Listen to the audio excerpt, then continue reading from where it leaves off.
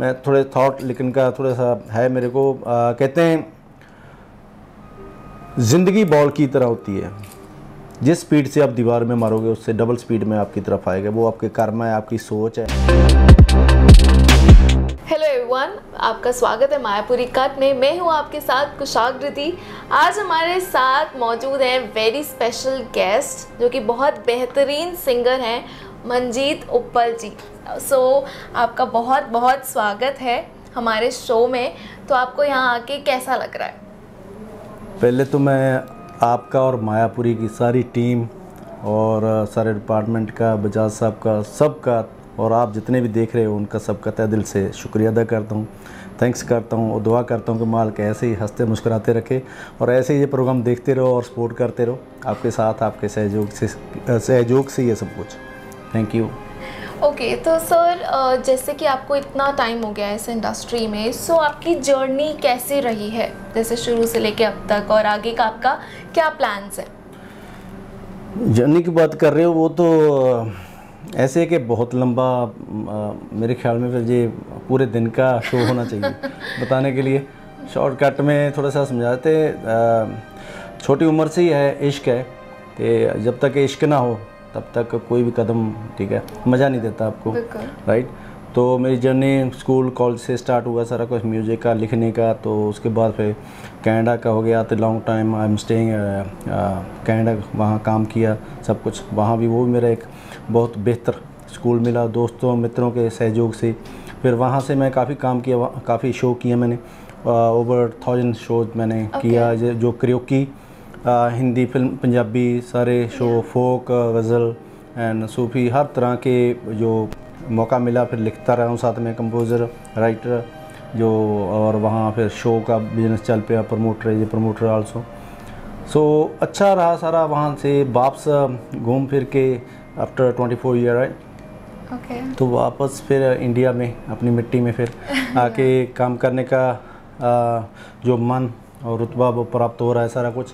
और उससे पहले मैं फ़र्स्ट शो किया था मैंने संदीप मरवाहा जी जो उनका नोएडा में स्टूडियो है मरवाहा स्टूडियो। तो वहाँ से मेरा शुरुआत हुई बहुत अच्छी हुई। और यूपी नोएडा और दिल्ली के जो जितने भी दोस्त मित्र प्यारे म्यूजिकल लवर जो आर्टिस्ट को प्यार करते हैं जो जो सहयोग देते हैं उनकी दुआओं से मतलब स्टार्ट हुआ। तो वहाँ ही मुझे मायापुरी के करता धरता सी साहब बजाज साहब मिले तब उन्होंने मुझे इनवाइट किया जहाँ। तो मेरी पहली इंटरव्यू भी यहाँ मायापुरी से स्टार्ट हुई जो मायापुरी एक टाइम मैं जब कॉलेज में था आ, आ, प्लस वन में तब मोस्टली ऐसे होता है कॉलेज में तो हम जाते हैं सभी। तो उसके बाद थोड़ा टाइम हम आ, जो होता है कि सिटीज़ में बस स्टॉप में ऐसे तो वहाँ हमेशा मैगजीन ऐसे पड़े होते थे। जी, जी। तो मायापुरी तब से जब से मैं चल रहा हूँ समझ रहा है सोची है तो तब से मैं मायापुरी लेके जाता दो दो रुपये दस पैसे या कुछ ना कुछ ऐसे लेके आता था घर में हमेशा अपने। तो ये एडिशन तब से चल रहा है और मैं दुआ करता हूँ ये भी पूरी टीम के लिए कि ऐसे ही चलता रहे हमेशा। सो उसके बाद बस लगे। ओके तो जैसे कि सर जैसे अभी म्यूज़िक के बात करें आप बहुत अच्छे से जुड़े हुए हैं म्यूज़िक से। सो so, अभी जैसे क्या होता है कि काफ़ी ज़्यादा रीमेक्स आ जाते हैं रीमेक्स ज़्यादा तो पुराने गानों को चेंज कर दिया जाता है। किसी किसी को अच्छे लगते हैं किसी को बिल्कुल ही अलग ही कर दिया जाता है। तो आपका इस चीज़ पे क्या कहना है कि आपको ये कैसा लगता है ये रीमेक्स और रीमिक्सेस देखिए मैं कोई वो उस कंपनी का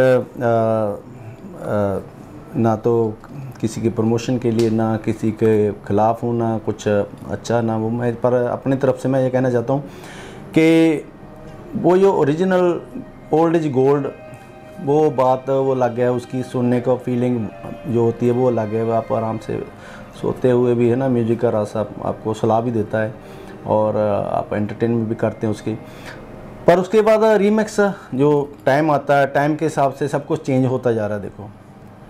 कभी मैं भी कुछ अलग तरह था आज मैं कुछ अलग तरह से चल रहा हूँ। बट जो कर रहे हैं वो अपने शायद अपने तरफ़ से बहुत बेहतर कर रहे हैं राइट हम्म। और कुछ जनरेशन ऐसी है कि उनको बीट जो किक उसका मज़ा लेने की जो मतलब एक ये कह सकते हैं कि उनको अच्छा लगता है वो। तो शायद सभी बिज़नेस माइंडेड लोग हैं तो वो अपने आप को चाहते हैं कि मैं बेस्ट कुछ ऐसे करूँ ऐसे करूँ राइट तो ताकि हमारे लिए बेस्ट हो। और दूसरे लोग प्यार भी करते हैं तभी कोई बनाता है। पर ओल्ड इज़ गोल्ड ऑलवेज जो अगर पुराना है तो उसको सुनते हैं मैं हम, आ, हमेशा ज़्यादा पुराने गीत गाता हूँ। रफ़ी साहब किशोर जी आ, कुमार सनू ट्वेंटी नाइन्टीज़ के टाइम का देख लो। कितने अच्छे अच्छे गीत है उसको आप जितने मर्ज़ी बार सुनते रहो राइट वो आप कान का रस नहीं जाता आपका। पर ये बीट वाले कुछ रीमेक होते हैं वो उसको आप एक दो बार सुनोगे। या तो वो क्लब में चलते हैं या कोई पार्टी में चलते हैं राइट बट उसको आप एक दो बार सुनोगे उसके बाद सिर्फ़ वो नचने टपने के लिए है। जी। उसको बनाते चलिए ठीक है? शायद वो अपना प्रॉफिट के लिए अपने बिज़नेस के लिए हर बंदा अपने लिए सही सोचता है।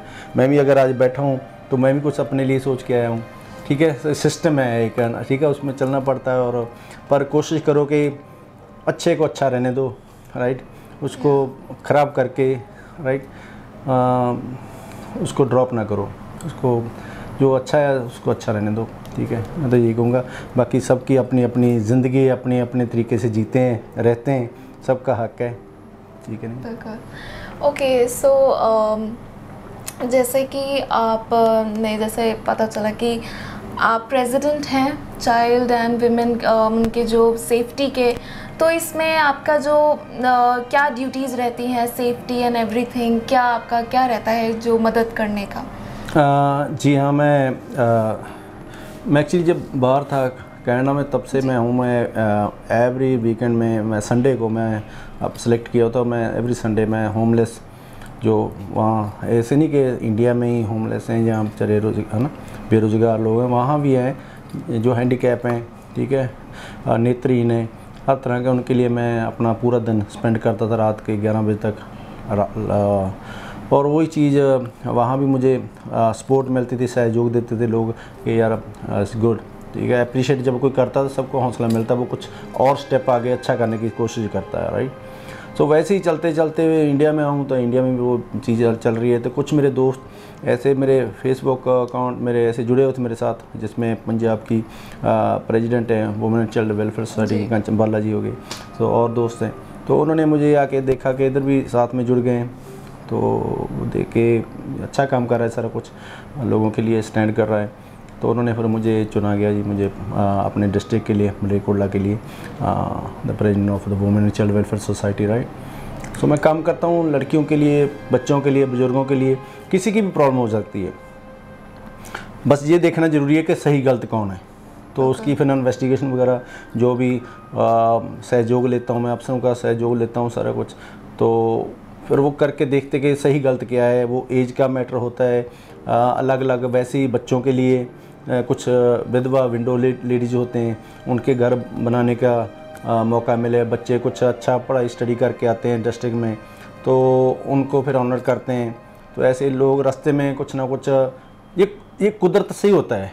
एक्चुअली बंदा ना मैं ना कोई कुछ नहीं कर सकता, ये ये सिस्टम बनाया है। अगर देखो, आपकी ड्यूटी आप होस्टिंग कर रहे हो, ये आपने होना ही था बढ़ना ही था राइट तो आगे क्या होगा, ये किसी को कुछ नहीं पता राइट सो so, ऐसे ही कहते हैं कर्ण करावन वाला मानस के कुछ हाथ में नहीं है। सब वही है वो चलता है। शायद मेरी आ, मेरे में जो कोई रूह ऐसी होगी राइट सो so, सर्कल है ज़िंदगी का कौन कहाँ बसता है हंसता है ठीक है? हर ये दुख तकलीफ़ अपने कर्मा है। मैं अपना कर्मा कर रहा हूँ कुछ लोग बुराई करते हैं तो वो अपना कर्मा कर रहे हैं। हर बंदे का अपना अपना एक करदार है वो अपना निभा रहा है ठीक है? यही दुनिया यही संसार है। ठीक है जी। तो इसीलिए मैं बच्चों को भी स्कूलों में होता है तो अभी मैं आ, कुछ दिनों में एक स्टार्ट कर रहा हूँ नेहा मैडम की सहयोग से ही हमारी जो प्रधान है। कि bad good and bad touching की है बच्चों को। स्कूलों में ये चीज़ नहीं पता होता लोग मैस यूज़ कैसे करते हैं राइट और हमारे कहते हैं कि कान भर दिए लड़ाई झगड़ा दोफाड़ कर दिया परिवार को ऐसी ही चीज़ें बहुत ज़रूरी हैं लोगों को समझाने के लिए जिनको ये चीज़ नहीं पता कि लोग कैसे आपसे, आपके, अगर अभी देखो, ये समझ लो कि मेरे साथ भी होता है, ज़िंदगी में हुआ, पर मैंने वो चीज़ दिमाग में एक चीज़ बन गया, एक पॉइंट बन गया मेरे कि नहीं। अगर कोई मेरे कहता कि, जी, ये गलत है, वो तेरे साथ ऐसे बोलता है, ऐसे करता है, मैं कहता, एक मिनट वेट कर फ़ोन पे या लाइवली है? सो उनको कहता है वेट कर, मैं उनको लाइव पे ले कहता हूँ फ्रंट पे लेके आता हूँ, चलो बात अभी सामने सामने कर लो, ठीक है? तब वो समझ लो कि वो बंदा भाग जाएगा। अगर वो गलत है ना तो वो भाग जाएगा। तो उसको पता लगना बहुत ज़रूरी है कि ये बंदा कच्चा नहीं है काम से और इसको कोई भी भर नहीं सकता, ख़राब नहीं कर सकता। जी, हम पे डिपेंड करता है। वो चाहे हमारी फैमिली है, चाहे हमारे माँ बाप है, राइट फैमिली मीन्स लाइक अपने बच्चे हो गए, अपनी राइट बीबी होगी। तो पेरेंट्स हो गए, चाहे दोस्त हो गए, चाहे बिज़नेस हो गया, चाहे बॉस हो गया, हर जगह पे ये डिपेंड करता है ये पॉइंट करती हैं चीज़ें कि कैसे किसी को डील करना कैसे वो बच्चों को बहुत ज़रूरी है। वही ग्रो हो गए वही वही समझेंगे कि कैसे क्या करना आगे। तो वो यही सिस्टम है सारा समझाने का। और लेडीज़ को ज़्यादातर पता नहीं होता है कि उनका ये प्रॉब्लम है उनके लिए तो इनको किस नंबर पे कॉल करना है? दस अठानवे के कॉल करना या एक सौ एक पे कॉल करना या मतलब सिस्टम है एक। हर आ, हम मोस्टली पता क्या करते हैं, हम पुलिस स्टेशन को भाग जाते हैं। पर्चा करा दो, ये करा दो एफ़ आई आर करा दो, ये वो। उनको पता ही नहीं होता कि ये आगे कभी पुलिस वाले अफसर ऐसे होते हैं, वो बहुत अच्छे होते कुछ उनको नहीं पता होता। वो कहते हैं हाँ कर लो। वो आपको वैसे ही आप गुमराह हो जाते हो वहाँ। कुछ लोगों को, अफसरों को उतना नॉलेज नहीं होता। मैं देखता रहता हूँ, मिलता रहता हूँ। कुछ लोग, अफसर बहुत अच्छे हैं, वो सब गाइड करते हैं, बड़े अच्छे तरीके से बैठाते हैं। राइट लड़की को लड़की की ज़रूरत होती है लेडी पुलिस की, और डिपेंड करता है कैसे उनको डील करना। ये चीज़ हमें, अगर हम लोगों को, अपने विलेज को, अपनी सिटी को समझाएँ लोगों को तो उनको पता चलेगा हम इस नंबर पे कॉल करना। मेरे साथ कैसे मिसबिहेवियर कीता, किया, कि इसने तो कैसे मैं किस, कहाँ कॉल करना? बच्चे को कोई कैसे हरासमेंट कर रहा है कुछ भी है तो उसको कॉल कहाँ करनी चाहिए? ना कि हम वहीं, अभी लेडीज़ हैं कुछ उनके डिवोर्स का हो जाता, लड़ाई झगड़ा हो जाता, उनको पता ही नहीं होता, वो वो सीधा पुलिस स्टेशन में चले जाते हैं। पर उनके जो जो है, सीखने वाली, समझने वाली बात वो, वही चीज़ समझाते हैं कि हम आपका हक कैसे मिलेगा आपको? आपको भटकना नहीं पड़ेगा। चार चार पाँच पाँच सात आठ आठ दस दस साल की लड़की बैठी हैं जिनका डिवोर्स हम्म। नहीं हो पा रहा है। तो हम्म। सही वे से चलते नहीं। तो ज़रूरत होती है कुछ विंडो लेडीज़ होती हैं उनके जिसकी होती है कि घर वगैरह उनका कोशिश करते हैं हेल्प करना। बच्चे अगर मेरी सिटी में ऐसे है कि अगर बच्चा अच्छी स्टडी करके आया डिस्ट्रिक्ट में तो उसको हम ऑनर करते हैं। पैसे दे के उसके ताकि कोई चीज़ अपनी ले ले ख़रीद ले हौसला होता आगे दूसरा बच्चा उसको देख के वो कहे यार उसको ऑनर किया गया। यार मैं भी स्टडी करता हूँ टाइम निकालता हूँ मैं राइट तो ऐसे बच्चों को बताना ज़रूरी है सबका कि कितना टाइम आपको ये फ़ोन से कितना टाइम आपको इसको कनेक्टेड रहना चाहिए कितना स्टडी करना चाहिए कितना फैमिली के साथ। ऐटोमेटिकली फैमिली भी वैसे ही हो जाएगी। हम कभी कभी अपने बच्चों को केयर नहीं करते हम हम्म। सिर्फ़ सेल्फिश हो जाते हैं आप अपने बैठे रहते हैं अपने टीवी पे लगे रहते हैं ये वो सास बहू ये वो। सो सब कुछ ये समझाने की बात है। शायद मैं आ, मैं भी पहले ऐसे ही था शायद। बाहर कंट्री जो चीज़ें हमें बहुत कुछ टीच करती हैं बहुत सिखाती हैं सिस्टम के बारे में। तो ये छोटी सी ज़्यादा लंबी ना हो जाए मैं। तो, तो सर आपके आगे के जो क्या आपके जो आगे अपकमिंग प्रोजेक्ट्स हैं उनके बारे में आप क्या बोलना चाहोगे? देखिए जी मैं जे पहले मैक्स प्ले पे भी है मेरा कुछ मैंने काम किया है। जी मैं प्लेबैक सिंगर मुझे मालक की कृपा, उसकी दुआ, मेहरबान, ठीक है, सब कुछ। सो मैं जो भी काम मिल रहा है, मैं कर रहा हूँ दिल से, ठीक है। और मुझे हमेशा यही सिखाया गया मेरे बहुत अच्छे दोस्त भी हैं, भाई भी हैं, मनोज अग्रवाल जी जिन्होंने अपने सुना फ़िल्म में हद कर दिया अपने परदेसी, वो बात रखे गना सलाम बॉम्बे, इस फ़िल्म है काफ़ी उनकी। तो वो उनसे मैं बहुत कुछ गाइड लेता हूँ, ऐसे जैसे धर्मेंद्रा पापा जी, उनसे भी मिलने का मौका मिला तो वो चीज़ सिखाते हैं बेटा चलते रहो काम छोटा बड़ा कभी नहीं देखना चाहिए पर काम दिल से करना चाहिए ईमानदारी से करना चाहिए रूह से करना चाहिए उस काम में अंदर चले जाओ। तो ऐसा ही क्यों कि आपको सिर्फ़ विलन का ही रोल मिल रहा है? ऐसा क्यों है? शायद मेरा थोड़ा ऐसा मेरा लुक वाइज राइट शायद मुझे इसलिए और बाकी पता नहीं आगे वाले को ज़्यादा पता होता है। वो कहते हैं ना कि आईना इंसान तैयार होके आईने में क्यों जाता है? मेकअप सब कुछ तो अपना खुद करता है। hmm. सब कुछ अपने तरीके से। तो फिर उसको क्या ज़रूरत पड़ती है कि वो आईने में क्यों जाता है? क्योंकि आईना बोलता है। तो ऐसे ही जो डायरेक्टर होते हैं प्रोड्यूसर होते हैं जो सारे कोरियोग्राफर होते हैं सारा उनको पता होता है कि हमने काम कैसे कराना क्या होना चाहिए क्या नहीं ये हमें ये लोग ऐसे ही मैं बॉम्बे में एक स्ट्रीट पे हम्म। चाय पी रहा था। और चाय पीते पीते मैं देख रहा हूँ साइड पे तो एक आ, एक इंसान खड़ा देख रहा है मुझे साइड पे। तो मेरा थोड़ा सा आदत है ये खुला हूँ मैं जो पूछ लेना चाहिए मन में रखना ही चाहिए जब कुछ भी चाहे वो राइट तो मैंने कहा भाई साहब क्या बात है? आप चाय पियो। आप क्या हुआ? ऐसे क्यों देख रहे हो? मुझे देख रहे हो किसको देख रहे हो? अरे भाई मैं तुझे ही देख रहा हूँ। क्या हुआ? अरे यार आपकी लोग अच्छी लगी मुझे। हैं वो रजेश जी है उनका नाम। तो आगे वो काला सूट फ़िल्म एक बना रहे हैं बहुत ज़बरदस्त कंसेप्ट है पंकज कपूर जी और ओके ओके। और भी आर्टिस्ट हैं बड़े उसमें। तो उसमें मेरे सेकंड लीड ये क्योंकि उनको पता चला जब सारा तो उन्होंने बोला कि ये बाल कब कटा रहे हो? ये ऐसे तो नहीं कर रहे मैंने कहा नहीं हूँ ऐसे ही हूँ भी बताओ। कहता नहीं कटाना नहीं। आपसे अब मैं आपको बस ये पढ़ो मेरे से पैसा थोड़ा मोटा और आप मेरे आर्टिस्ट हो। मैंने कहा क्या बात है? गाड़ी में बिठाया उनको मैंने साइड पर गाड़ी लगी हुई मेरे अपनी। तो ऐसे ही कुछ भी हो जाता है। पता नहीं चलता, बहुत अच्छे वो खुद भी उन्होंने काफ़ी काम किया इंडस्ट्री में और रामायण वगैरह 2012 की ऐसे प्रोजेक्ट हैं और भी तो कुछ भी हो सकता है जी। उनको लगा कि ये करेक्टर मुझे चाहिए राइट तो ऐसे होता है तो मुझे समझ नहीं आ रहा है कि यार क्या करूँ। कुछ लोग दोस्त कहते हैं, यार इतने बड़े बड़े लेके बैठते हैं। मैं पगड़ी भी मानता हूँ मैं पगड़ी बहुत अच्छी मानता हूँ सारा। अच्छा, अच्छा। पहले मैं कॉलेज में था पगड़ी मानता था। पर कभी कभी आ, जब शो या कुछ भी कितने कहीं और जो चीज़ मांगती है जैसे हम वैसा बेस थोड़ा रखना भी पड़ता करना पड़ता है ठीक है ना? पर रिस्पेक्ट सबकी करनी चाहिए।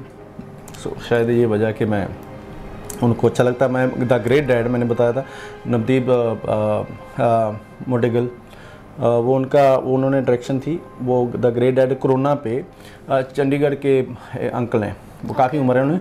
जब ये स्टार्ट हुआ था ना टेस्टिंग होती ना पहले के मेडिसिन की तो वो पहले थे जिन्होंने टेस्टिंग कराई चंडीगढ़ से। इज़ ओल्ड मैन वो एक्चुअली वो भी हमें ऐसे ही मिले। अच्छा। जब मैं गाड़ी ले गया तो मुझे पता चला कि इन्हें कहते यार अंकल जाना बॉम्बे से। मैंने कहा कौन है? कहते साथ में ले आओ, मैं ले आऊँ। जाते जाते ऐसे दोस्ती उनके साथ अंकल के साथ। तो वहाँ उनको फिर फ़िल्म ने स्टोरी बना दी देखा कि यही चीज़ है। तो उनके पास सर्टिफिकेट भी है सारा मीडिया ने भी इंटरव्यूज़ है काफ़ी यूट्यूब पर तो उनके फिर ऊपर बनाया। और जो बच्चे थे उसके बेटा और उसकी नूरानी और परिवार घरवाली वो बहुत करते थे ये पागल किधर चला गया? ये मर जाएगा ये हो जाएगा ऐसे ही चला गया। तो उसको ऑनर किया गया था उसको चंडीगढ़ में। सो सुरेंद्र जी हैं। Okay. तो चंडीगढ़ फ़िल्म आ, उसमें काम भी करते हैं। तो मतलब मेन चीज़ उनका ये हो गया कि करना तो करना जो होना होना है राइट तो वो उनके साथ हमने द ग्रेट डैड फ़िल्म बनाई थी वो यूट्यूब पे है। वो कोरोना पे है लोगों के लिए लोगों को हौसला बढ़ाने के लिए कि यार आप आगे बढ़ो। डरने की बात नहीं। जो है जो गवर्नमेंट सिस्टम कहता है गवर्नमेंट कहती है चाहते तो हम आगे नहीं बढ़ेंगे तो कैसे होगा राइट तो ऐसे कुछ प्रोजेक्ट है मेरे और भी हैं जो एक vampire in the dark night उसमें मैं बम्पायर बना हूँ वो भी बहुत डरावना है ऐसा ऐसा रहा तो उसका चलना उसके डायरेक्शन में एक्शन मेरा अपना वेब सीरीज़ है और काफ़ी प्रोजेक्ट हैं पंजाबी भी हैं सो बॉम्बे के एक दो दा दा एंड वो भी बड़े आर्टिस्ट हैं कुछ ऐसे मनोज अग्रवाल जी की हद कर दिया अपने टू का शायद वो स्टार्ट होगा। तो काफ़ी प्रोजेक्ट है जिसमें नेगेटिव पॉजिटिव सारे तरह के। मैं तो कहता हूँ कि आर्टिस्ट एक्टर होना चाहिए। तो कहीं भी उसको खड़ा करो बस काम करना चाहिए काम करवाने वाला होना चाहिए तो काम होता है सब कुछ। ठीक है ये कभी नहीं सोचना चाहिए कि नहीं। अगर अभी मुझे लोग शायद उनको पसंद आती है जिसको तो मैं थोड़ा रखूँगा ऐसे। तो देखते हैं आगे क्या बाकी पर्वत दिगार के उसके ऊपर है राइट ठीक है जी। ओके तो सर आप हमारी मायापुरी की ऑडियंस को क्या मैसेज देना चाहते हैं और आपका कैसा रहा हमारे साथ? लाइक मायापुरी से आप जुड़े हुए हैं तो आप क्या बताना चाहते हैं? मायापुरी का तो ये देखो मैं पहले भी आ, मेरे यहाँ इंटरव्यू बजाज साहब ने- उनने की थी आप सबके सहयोग से राइट और आ, बहुत अच्छा और मैं जब से कॉलेज में तब से मैं उसको पढ़ता आ रहा हूँ। अब भी उनके एडिशन जो भी आता है सारा मेरे पास व्हाट्सएप पे मिल जाता है मुझे। जब भी टाइम होता है रात को तो मैं उनको देख के पढ़ के मैं सोता हूँ ठीक है? अच्छा लगता है। और ये आ, बड़ू छोटू मोटू ये ये तो इन्होंने तो धमाल मचाई है। पूरे। पूरा धमाल मचाई है। मेरे घर में इनके स्लीपर भी इनके नाम पे हैं हैं? कुछ आ, पेंटी और टीवी पे भी शो मरे यही हैं ठीक है? तो ये अच्छा लगता है मैं चाहता हूँ कि सबको देखना चाहिए एंटरटेनमेंट ये डेढ़ दो साल के बच्चे से लेके पाँच छः साल के बच्चा फुल एंटरटेनमेंट हाँ, करता है। ये वो खुद अपना रिमोट लेके बैठा होता प्लीज़ अपने बच्चों को अपने घर में इसका इसको इसका श्रृंगार बनाओ ये मैगजीन का और कमेडियन हर चीज़ की।